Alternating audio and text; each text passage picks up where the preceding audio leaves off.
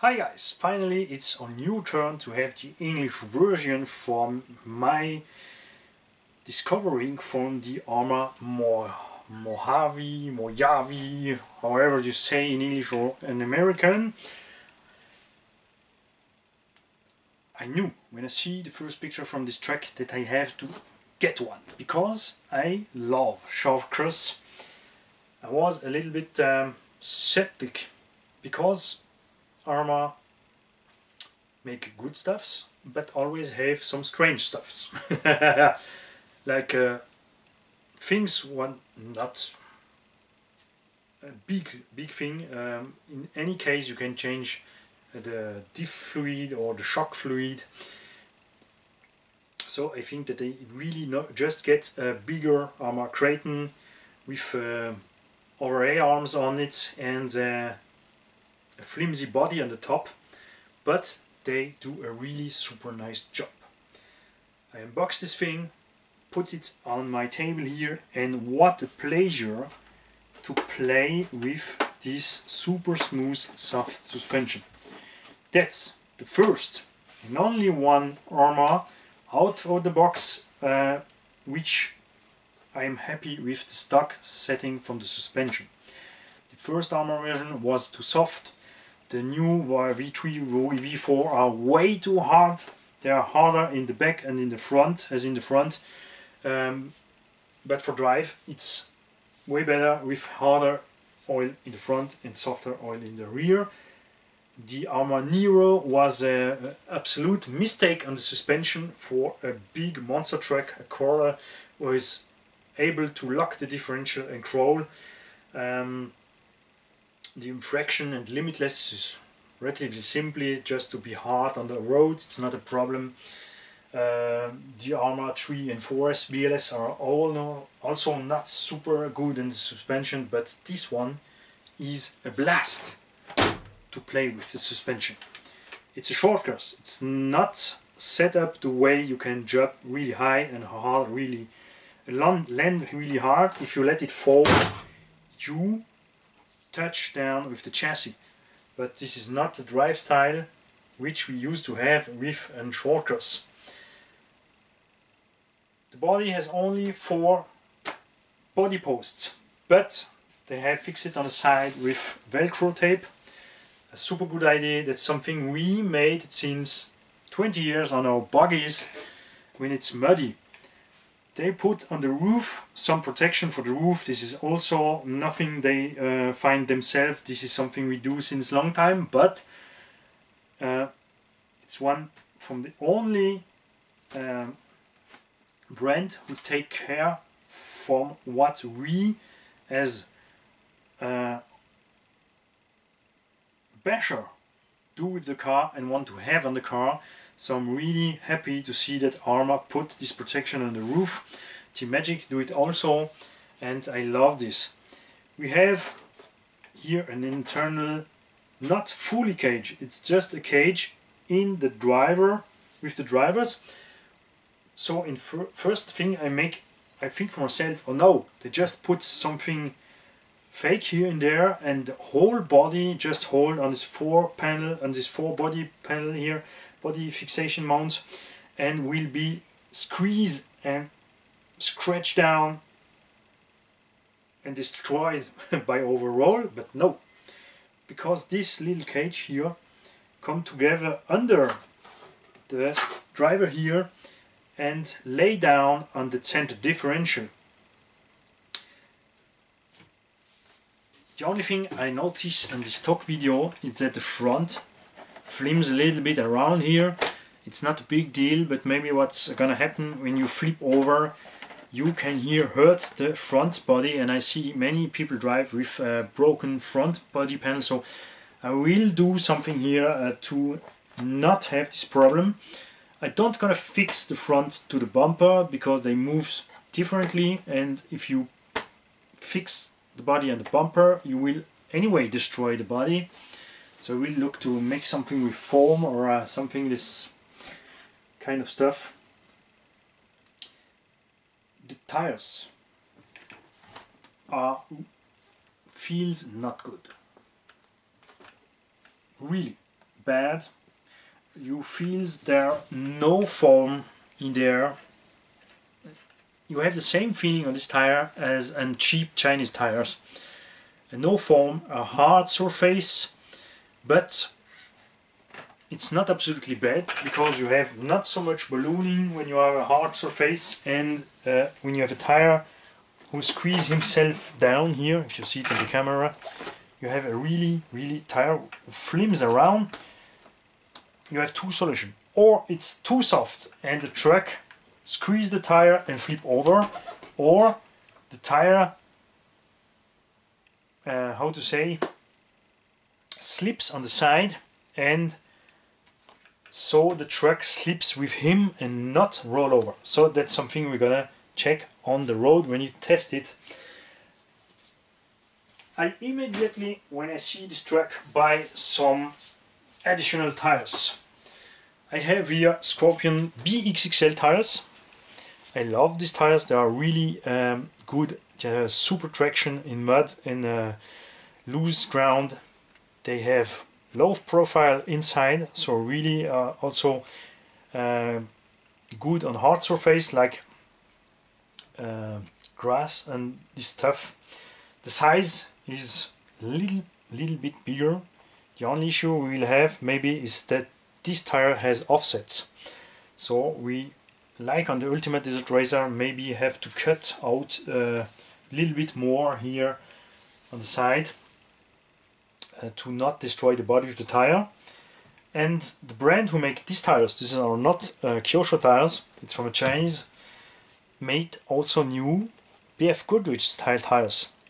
A little bit smaller, so and round inside. Also hard compound, but this will surely allow the truck to sleep and to drive really uh,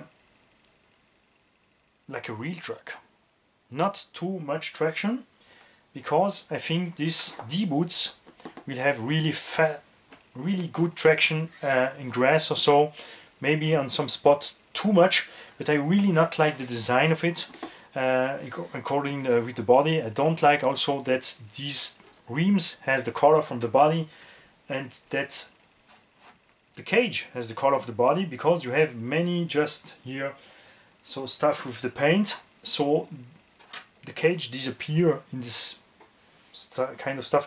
I think the green one has have to be the red tires rims and the red cage and the red one has to have the green tires and the green cage. Or gray maybe. You can get gray tires and rims optional. They also do something um, special. They do a a third body. You have a green and a red on the car and you get a third body who looks really amazing. Why do they do that? Uh, because uh, just easy. So you buy it.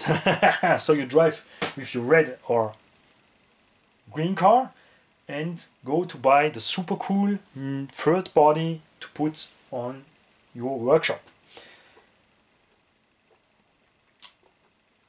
It's a stock Arrma transmission. That means you can put on this car all option you can get for the other one uh, for the transmission, not for the arms because the arms are a special size here. But you can go to Elsa Racing and take some 1 5th scale hex and put 1 5th scale on-road tire on this track and go to drift around go to have fun on every surface you want. These tires are also a little bit heavier, which allow the truck to have a good grip on the road and not overroll too much even if you change nothing at the suspension for go on road. And that's maybe what I'm gonna do because I love the way the trucks, when you look at stadium race trucks, uh, it's just a blast to see them drive on the on-road course. So, under the hood, you see, I know you see many other unboxing videos. You have here, like I say, the cage who comes together here on this little center point and hold on this flexible mount here. Arrma does only for only it's the only RC brand who make this cool stuff. You have here twice fixation for the body mounts on a flexible support. That's something we want to see a long time. But Arrma is the only one who listened to us and made it stock out from the box.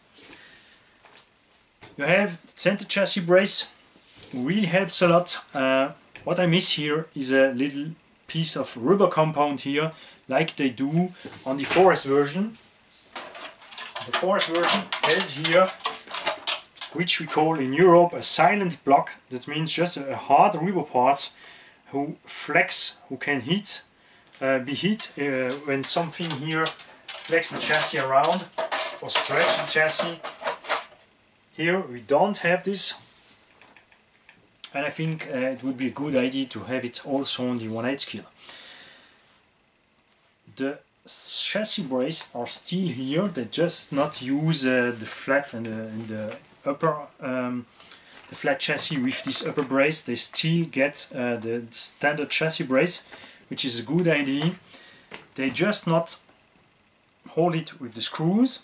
The chassis brace has also a little plastic part here in the chassis. The A-arms are really beefier than at the 1/8 scale. They are a special size, but because they are mounted like an over all over Arrma stuff, you can use this arm on uh, the Arrma buggy. You can use this arm on the Senton. You can use this arm on the Arrma Outcast to make it a little bit look better because the Arrma Outcast is just a square driving around. It's cool from the side, but from the front and from the upper view, it's really, really strange. And I think this beefy arm will take a lot of abuse if you put it in an Arrma Typhoon. You can make a little bit brighter Arrma Typhoon uh, will be super super light put on the unbreakable body on the top from Pro Body RC and with this arm have an indestructible Arrma Typhoon. The electronics in the car is the stock. This means just the stock 6S combo. I think the truck is a little bit heavy for uh, this combo.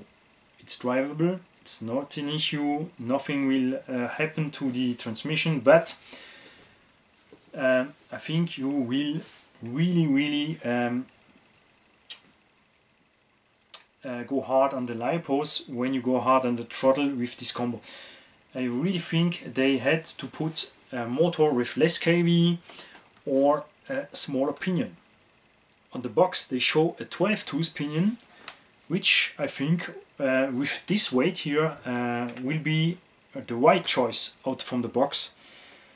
You have not so big tires than uh, the Arrma Kraton, but the car is really heavier than the Arrma Kraton. So a 12 or 13 tooth pinion would be a good choice in this track. But no, they go to 60 tooth pinion to go fast out from the box um, but in 6S with this weight go fast will kill your lipos. You see it on the infraction, I make the test, when you go hard on throttle 10 minutes is the lipo is really cooked out. And don't know if I'm gonna test this thing stock or immediately put a small opinion or if I go to put an ADAS system in this truck.